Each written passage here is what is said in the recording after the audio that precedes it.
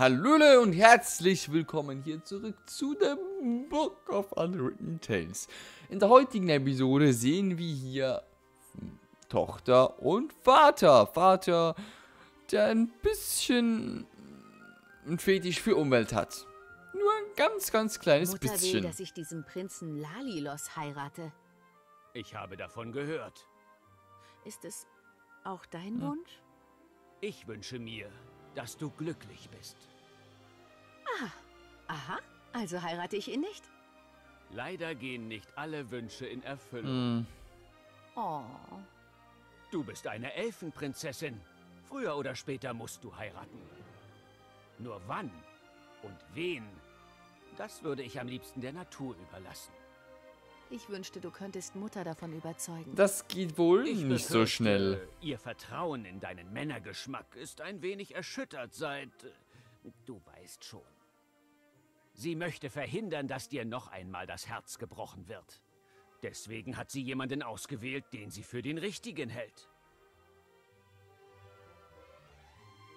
Hättest du das Artefakt des Schicksals benutzt, dem wir, oder das wir im ersten Teil nachgegangen sind? Du Papa, hättest du das Artefakt des Schicksals damals benutzt oder hättest du es versteckt, so wie wir? Ich glaube, zu viel Macht korrumpiert jeden von uns. Aber du hast große Macht und hast sie nie für etwas Böses eingesetzt. Ich hätte mit dem Artefakt kranke Wälder geheilt. Ich hätte die Flüsse und die Luft gereinigt. Und dann... Dann hätte ich vielleicht Holzfäller verjagt und Fabriken der Zwerge zerstört. Aber ich hätte vielen Menschen helfen können. Dinge brauchen Zeit, Ivo. Erzwingt man Veränderungen, ohne dass ihre Zeit gekommen ist, dann sind sie nicht von Dauer. Das ist wieder eine Ansprache und geradewegs hinaus. Ich bin. Ich muss dir etwas sagen, Vater. Aber ich weiß nicht wie. Du solltest dir nicht allzu viele Sorgen machen. Das ist nicht gut für das Kind. Du weißt es? Kann ein Zebra rückwärts laufen? ja. Wie konnte das passieren? Woher kommt es? Das weiß ich nicht. Ist es wichtig? Ist es? Und ob? Ah, Ich will wissen, was mit mir passiert ist. Dann suche die Antworten, Spätzchen. Wie kannst du da nur so ruhig bleiben?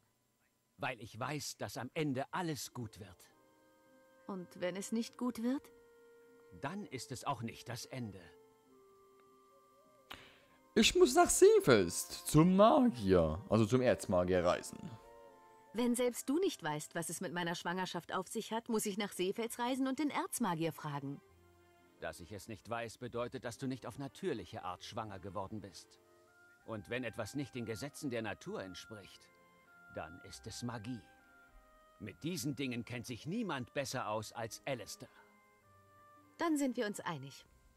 Wie Schnecken, die auf Kohlrabi sitzen. Nur deine Mutter wird es nicht zulassen. Hm, Daran arbeite ich. ja, daran arbeiten wir wirklich noch. Erleuchte mich, Vater, helle und mich, strahlend. Vater. Der gestreifte Kakadu und das hinkende Eichhörnchen, hoch auf dem Dach der Welt, gehören zu den großen Wundern der Welt. Hm. Darüber muss ich nachdenken. Ähm, Erleuchte mich, hat Vater. jetzt nicht weitergebracht. Alte Menschen mit Sonnenbrand, geleugnet von denen, die unachtsam sind, gehören zu den großen Wundern der Welt. Hm. Darüber muss ich nachdenken. Gibt der Vater mal was Nützliches hier von sich? Erleucht. Übelriechende Murlocs, geleugnet von denen, die unachtsam sind, gehören zu den großen Wundern der Welt. Hm. Darüber muss ich nachdenken. Und noch einmal? Geht das noch was? Die Motte und der Löwenzahn, Tango tanzend und unflätig furzend, gehören zu den großen Wundern der Welt. Okay, ich glaube, da kommt nichts mehr Besseres, oder? Der weite Nee. Himmel, Tango tanzend, Nee. gehören zu den Nee. Das Noch einmal? erleuchtet. gro- übelriechende Ach, haben wir schon gehören- gehört. Hm. Ich habe einiges, über das ich... Auf Wiedersehen. Bis später, Vater. Und ich weiß jetzt immer noch nicht, also, jetzt haben wir zwar, ähm, ein Druckmittel für Mutti, dein Vater ist ja dafür. Mutti! Man kann Mutter viel vorwerfen, aber nicht, dass sie nicht fleißig ist. Im Gegenteil, sie arbeitet für drei, weil sie anderen nicht zutraut, die Arbeit genauso gut zu erledigen. drei, also für Tochter und Vater dann auch noch. Nur mal so geraten. Mutter? Ja, Ivodora? Findest du wirklich, dass ich dick aussehe? Findest du wirklich, dass ich dick aussehe? Du bist nicht wirklich dick, meine Liebe, aber auch nicht perfekt. Muss ich denn perfekt sein? Ja! Man ist nie perfekt. Strenge. Man sollte immer danach streben. Wenn man einmal zufrieden mit sich ist, fängt man nur an, nachsichtig zu werden. Unzufriedenheit kann einen weit bringen, mein Schatz. Hm, muss ich selber auch äh, dran glauben. Du glaubst wirklich, dass dieser verkackte Prinz äh, zu mir passt? Warum willst du unbedingt, dass ich diesen Prinzen heirate? Weil ich glaube, dass es das Beste für dich ist. Und wenn ich ihn nicht mag? Dann wirst du lernen, ihn zu lieben. Warum kann ich mich nicht erst verlieben und dann heiraten? Und was, wenn du dich nicht verliebst? Willst du dann nie heiraten? Ja. Sei nicht kindisch, Ivodora. Wie haben du und Papa euch also kennengelernt? Als du Vater geheiratet hast. Wie lange kanntest du ihn da schon? Erst wenige Tage. Ich habe mich sofort in ihn verliebt. Er war der weiseste und stattlichste Elf, den ich je traf. Ähm, okay. Und wenn du ihn nicht geliebt hättest? Wenn du ihn vielleicht nicht mal gemocht hättest? Dann hätte ich ihn trotzdem geheiratet. Es ist die Pflicht einer Prinzessin, die Thronfolge zu sichern. Ob sie will oder nicht. Genau. Du wolltest auch nicht jeden Tag zur Schule gehen. Heute kannst du musizieren, malen, sprichst ein Dutzend Sprachen und hast erkannt, dass Bildung ein Geschenk ist. Vertraue mir einfach. Manchmal wissen nur Eltern, was das Beste ist. Störrisch. Aber ja, man muss es im Nachhinein auch einsehen. Was können wir gegen die Seuche in Seefels denn tun? Weißt du schon, was wir gegen die Seuche in Seefels unternehmen wollen? Unternehmen? Nichts, mein Schatz. Es ist eine Angelegenheit der Menschen. Wir beobachten nur. Wie wäre es, wenn wir einmal ein Problem lösen, anstatt zu warten, dass es sich von alleine löst? Wenn Alistair meinen Rat wünscht, sollte er sich melden. Und bisher hat er das nicht getan. Äh, Aber Ich dränge mich niemandem auf. Bis später, Mutter. Mach kein Gesicht wie sieben Stunden Regenwetter, Ivo. Lächeln.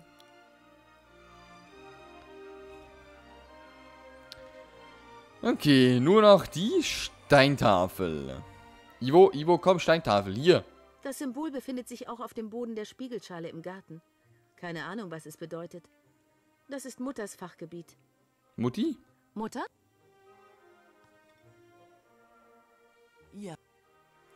Was bedeuten die Symbole auf den Steintafeln? Die Symbole auf den Steintafeln. Was bedeuten sie? erst deine Einsicht die Hochzeit betreffend und nun auch noch Interesse am Spirituellen. Du überrascht mich. Die drei Symbole stehen für drei verschiedene Formen des Wassers, die für viele Rituale wichtig sind. Wasser, das vom Himmel fiel, Weiter. Wasser, das aus der Erde quoll und Wasser, das im Mondschein badete.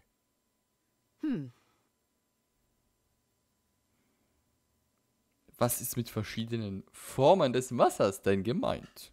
Und was hat es mit diesen verschiedenen Formen des Wassers auf sich? Du hast mir vorhin von den verschiedenen Formen des Wassers erzählt. Was bedeutet das? Wasser ist nicht gleich Wasser, es verwandelt sich.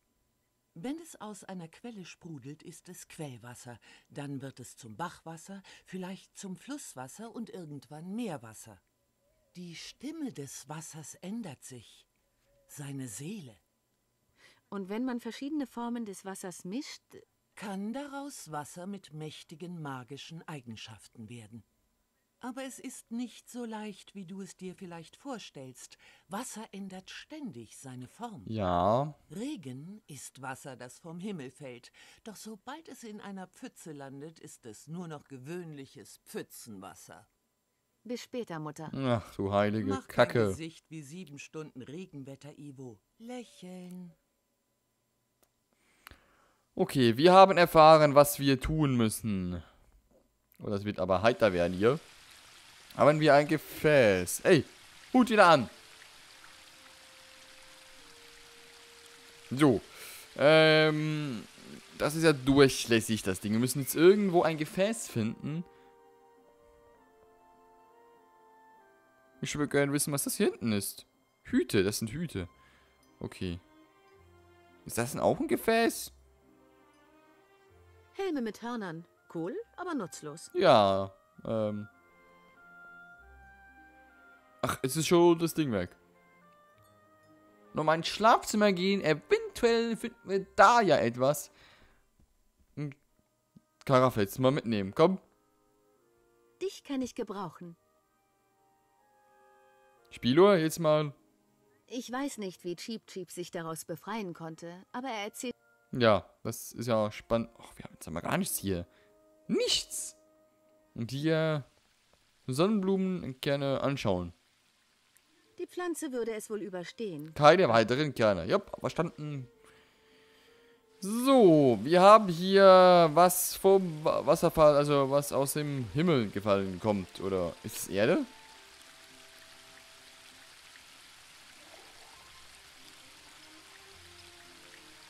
Traffer mit Wasser vom Wasserfall.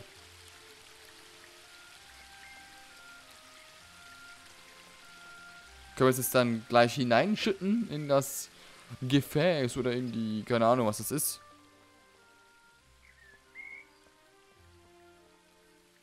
Wasser vom Wasserfall. Man könnte auch sagen, Wasser, das vom Himmel fiel. Ja. Es funktioniert.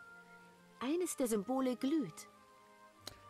Und Wasser, das vom Boden kommt, könnte man einfach unten im Wasserfall schöpfen. Eventuell geht das ja hier sogar. Oder wie jetzt?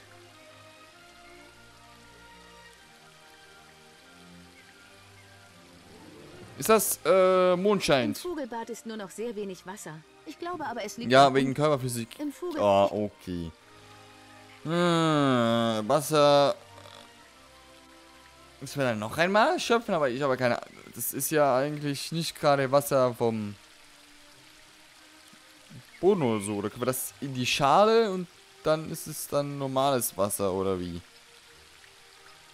Gefäß ins Vogelbad schmeißen. Eventuell ist es ja wirklich normales Wasser. Dann. Also schön. Frisches. Und jetzt wieder rausnehmen. Geht auch nicht. Damn it. Können wir oben wieder Wasser schöpfen? Wenn du es ja hier... Ah, Mondwasser vom Mondbrunnen.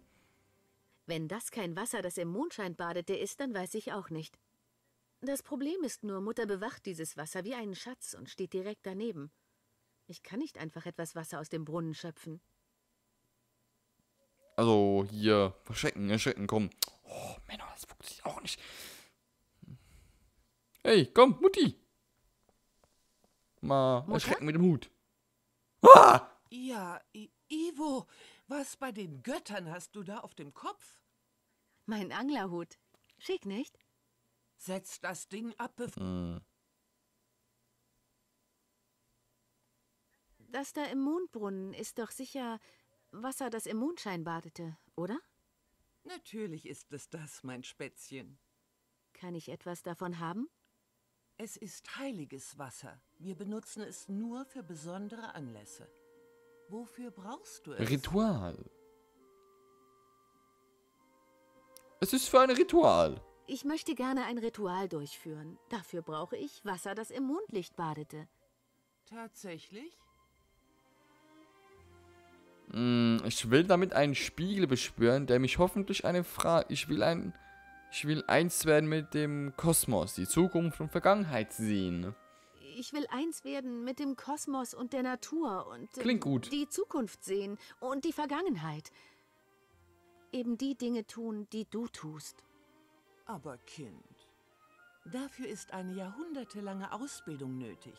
Nur Priesterinnen können das Mondbrunnenwasser für spirituelle Reisen. Spirituelle. Wegen Wofür? Na, Ritual. Tat Kosmos können wir nicht. Äh, ist eine Überraschung. Also ich will... Ich mag keine. Oh. Was für ein. Okay. Also es ist... Was hast du mit dem Wasser vor? Ach, vergiss es. Okay, liebe Leute, was wir mit dem Wasser anstellen, werden das sehen wir in der nächsten Episode. Haut rein, wir sehen uns. Hallo auch hier im Abspann zu der Book of Unwritten Tales 2. Wieder mit Wilbur unterwegs auf extrem gefährlicher Mission. Wir werden heute durchstarten, beziehungsweise sind durchgestartet und freuen auf uns auf eine weitere fabelhafte Geschichte hier im Reich der Elfen und weitere. Macht's gut, liebe Leute. Wir sehen uns dann bei weiteren zauberhaften Momenten mit Wilbur und Co.